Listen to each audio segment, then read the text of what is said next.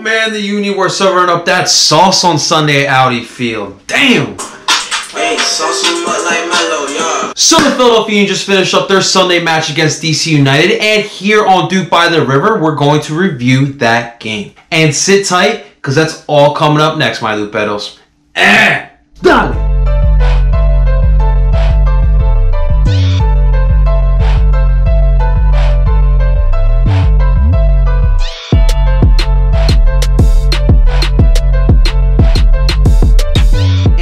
Welcome everyone to DOOP by the River, the show where we follow everything Philadelphia Union with me, Parcero Philly. And if this is the first time you're tuning into DOOP by the River, if you're returning back, I just want to say thank you for tuning in. But please, subscribe to the channel, hit the bell button for notifications, and share this on any social media platform that you use to help me grow soccer here in Philadelphia. And our boys in blue just got done one of the most inspiring performances this season. As the Philadelphia Union faced off against DC United for the first time in MLS play this season. And in the preview video, I emphasized that this match would be extremely important. The Union just came off another embarrassing 4-0 away loss. And with the rest of the Eastern Conference team starting to catch up with the team, it was super important for this team to walk away with three points. But we got something that we totally did not expect. Let's start off with the formation starting 11 that the MLS Coach of the Week, Jim Curtin, went with. And starting in goal, who else, guys? Andre Blake, our all-star, our Jamaican, our goalie. Got to start, and let's just say it was an easy night for him. Large part to do with the team in front of him. They actually showed up and played. But despite not getting the clean sheet, Andre would have a pretty good match. And in the back line, sorting from left to right, we got Kai Wagner, Aurelien Collin, Jack Elliott, and Ray Gaddis. Let's start off with Aurelien Collin, because Austin Trusty, who we usually see at that center back position, did not get the start. And we've been talking about his play over the past couple games, how it has not been the best. And Aurelien Collin was a smart move. We already know that Aurelien Collin is an MLS vet.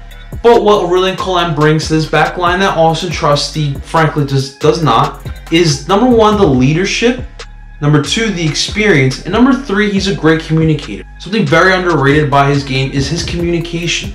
He talks to everyone in the back line and he calls you out if you're out of place. And that is something so huge, especially when we're fielding a back line with three guys who are under 25. Kai Wagner came in this match with a vengeance and had a pretty solid game, even getting an assist here. Big ups to Kai. Jack Elliott, my God, he was back to the guy we saw before that contract extension. He was fearless. He was ballsy. He was getting into the play. Really got to applaud Jack on his great performance. And then Ray Gaddis. Ray's been getting a lot of criticism, especially in those two bad losses that we lost 4 to nothing. He was solely picked on not only by the Union fans, but by MLS media. And he would have a solid match there as well. In the midfield, starting from left to right again, we saw another little bit of a surprise. At the left shuttle midfielder, we saw Warren Creavalle get his first start this season. At the sixth role, Haris Medunjanin. At the right shuttle midfielder, our captain and our hero, Alejandro Bedoya, and at the tip of the diamond, Marco Fabian. These four,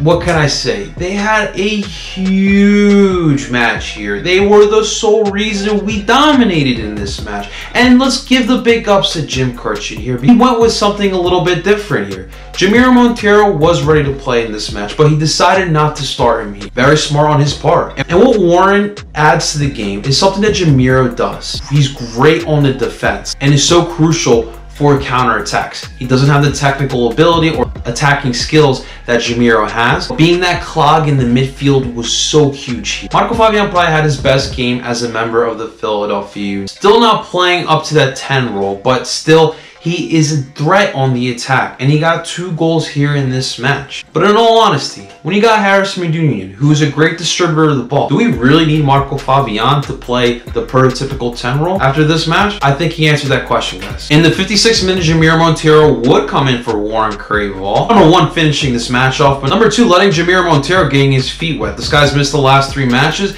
and allowing him to play in those final 30 minutes will be huge going into the next match. And up top, Jim Curtin switched it up again.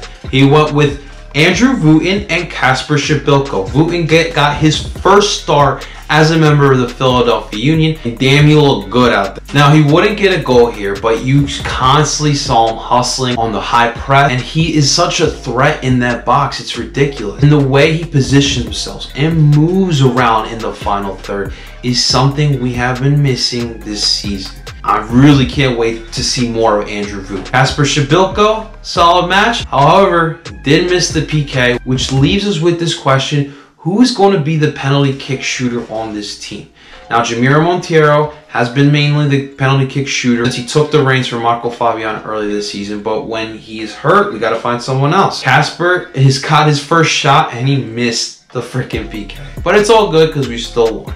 And Kacper, had a good game. From the start of this match, the Philadelphia would dominate at every aspect. And in the third minute, Andrew Voot would steal the ball in the final third and pass it off to Marco Fabian, which would then find Alejandro Bedoya streaking down the center of the pitch, and Ali would hit a nice slow shot to the far left post and would find the back of the net. And this is where we would see the iconic celebration that Alejandro Bedoya performed after this goal. And it was the headlines all around the MLS. I actually made a video about it. I'll put a link up here as well as a description down below so you can watch that video. In the 40th minute, things would get worse for DC United. As defender Junior Moreno from DC United would go ahead and challenge Kacper Przybyłko in the box, which would lead to a penalty kick. Obviously, Kacper would miss that shot, but that would leave DC United with 10 guys on the pitch. With two minutes in injury time in the end of the first half, Haris Meduni would travel the ball into the box and would then use an outlet pass to Kai Wagner, who would center it into the center of the box and found Marco Fabian, who would crack it in the back of the net to put the Union up two to nothing. And in the beginning of the second half, the Union would continue what they were doing in the first half. And then in the 52nd minute, DC United would turn it back over to the Union, and the Union would start another counterattack. Warren Creavalle would find Kacper Przybyłko on the left-hand side of the box, which Kacper would then put in the back of the net. To put the Union up, three to nothing. And a minute later, DC United actually catch us sleeping on the defense and would get a time goal as DC United center back Frédéric Brillant would put the ball in the back of the net to cut the deficit 3 to 1. In the 69th minute, Haris Meduni would make a smart pass to find a streaking Marco Fabian on the right hand side of that box and Marco would get a little deflection off a DC United defender to put it in the back of the net and getting his second goal. Union would be winning 4 to 1. And to put the icing on the cake, the recently subbed Fafa Picault would come on and get the last goal to put the cherry on top giving the Union a 5-1 lead and winning this game 5 to 1. Now overall this was a great performance from the goalie Andre Blake, our back line, midfield and forwards, everyone contributed and did their part. And from the minute this game started, we saw an intensity. We saw a Philadelphia Union team that we want to see all season long. Game in and game out. They were tenacious. They were disciplined. They looked like the first place team in the East. But here's the problem here. For every DC United match we have, are we going to have another Montreal or Real Salt Lake? This is a great result result, and I love it. And it was so much fun watching this game, seeing the Union lay it on DC United. And may I mention, Audi Field has become a little bit of a home field advantage for us. We played pretty damn well down there. This is a win we really need. But going forward, we have to continue this play. We're not going to play like this every game, and I know that. But having performances like we did against Montreal and Real Salt Lake cannot happen again. Now that we're in August, the Philadelphia are still in first place. It seems like they are getting more and more respect, not just from our league. The league seems to notice Philadelphia but from our city in general. We had a whole page in the Philadelphia Inquirer dedicated to us. People are realizing the Union are still in first place with two months left in the season. Not only that, our I-95 rival DC United, not only do we embarrass them in their own home, Ali Bedoya stole headline news, but also the big news after this game is that the rumors of Wayne Rooney leaving have been confirmed. And it seems like Wayne Rooney after the season will be heading to Derby County to become a player coach. I didn't even know those still existed. But, you know, Wayne is, will be leaving DC. And, you know, as a Union fan, I'm happy because, you know, DC is going to suck again.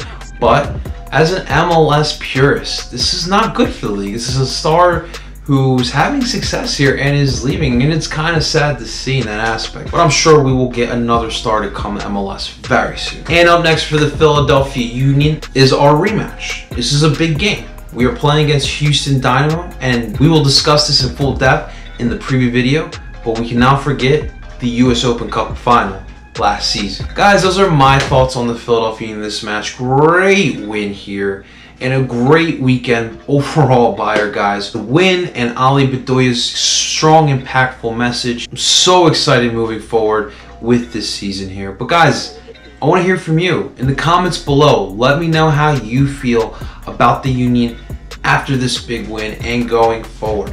Again, I will leave a link in the descriptions below for the video about Ali Bedoya's iconic celebration. And please guys, hit the like button, subscribe to the channel, hit the bell button, and share this on Twitter, Facebook, Instagram, all social media platforms that you use to help me grow soccer here in Philadelphia. But until next time, I do Duke ball.